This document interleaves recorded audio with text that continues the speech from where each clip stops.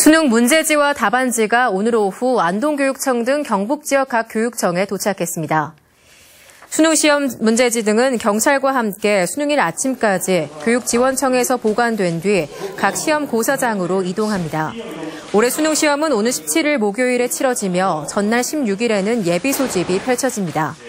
경북 지역 73개 시험장에서는 2만 4천여 명이 시험을 치르고 대구는 48개 시험장에서 3만 1천여 명이 응시합니다.